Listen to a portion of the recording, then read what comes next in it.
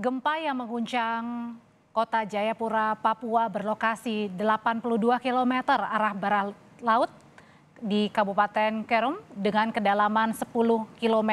Ada empat orang yang meninggal dilaporkan saudara akibat gempa yang terjadi. Dengan visual ini memperlihatkan bagaimana dampak yang terjadi setelah gempa. Nah gempa tadi dikatakan oleh uh, Kapolres Jayapura memang sudah beberapa waktu belakangan ini dirasakan masyarakat kota Jayapura.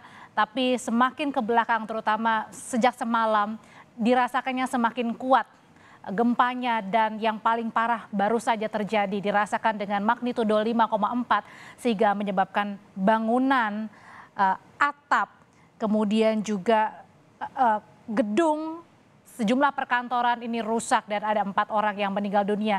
Saya akan kembali ke Pak Kapolres. Pak Kapolres. Pak Kapolres.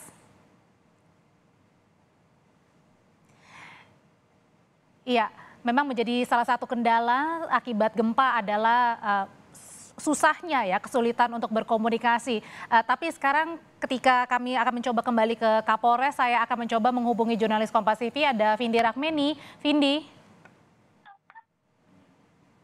Ya, selamat malam Audrey. Ya, kalau di sana berarti pukul berapa, Vindi?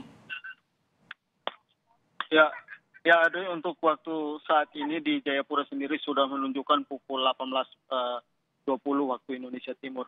Mana hingga saat ini untuk atau aparat TNI Polri bersama dengan uh, BPBD Kota Jayapura saat ini sementara berupaya uh, untuk mendata kerusakan akibat gempa bermagnitudo 5,4 yang melanda Kota Jayapura pada uh, sekitar pukul 15 waktu ini.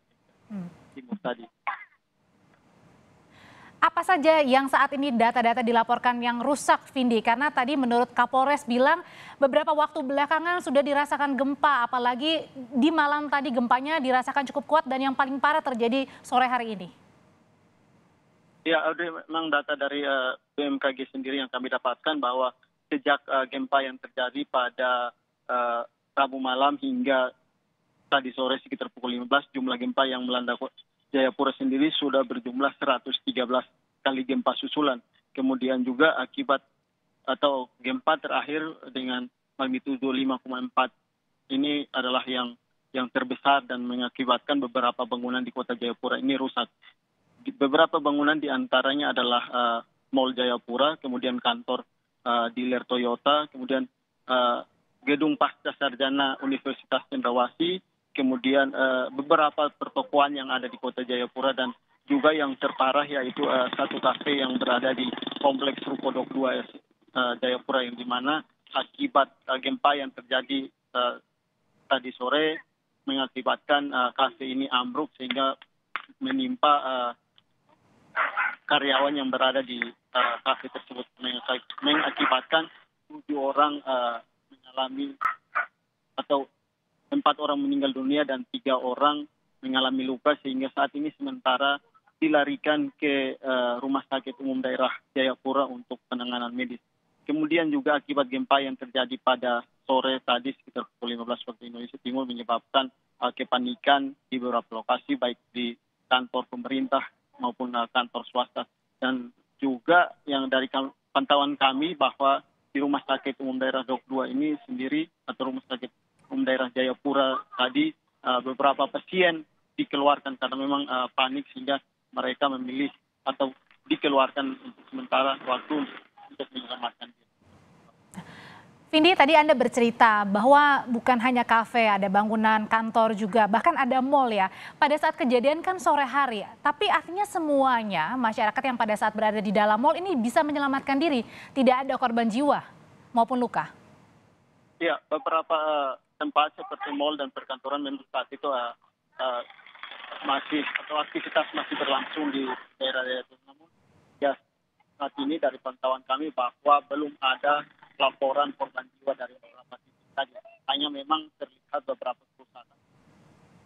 Kemudian uh, bangunan yang uh, runtuh seperti itu, ada beberapa uh, bagian seperti atap plafon yang jatuh dan menimpa uh, mobil atau kendaraan yang sementara terparkir di, di pinggir gedung seperti itu, Audrey.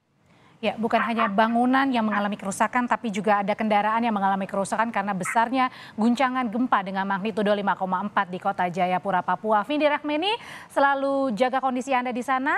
Eh, nanti kami akan kembali memperbarui informasi di sana. Terima kasih, Vindi.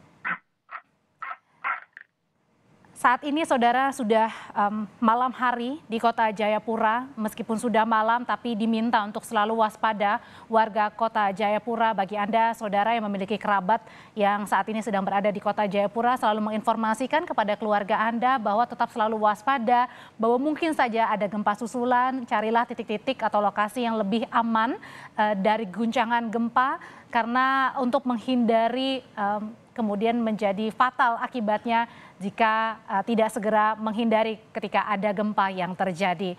Demikian breaking news Kompas TV untuk saat ini. Informasi paling baru dengan uh, terkait dengan gempa magnitudo 5,4 yang mengguncang kota Jayapura, Papua akan kami hadirkan dalam program Kompas Petang yang akan hadir sesaat lagi. Terima kasih, sampai jumpa di Kompas Petang.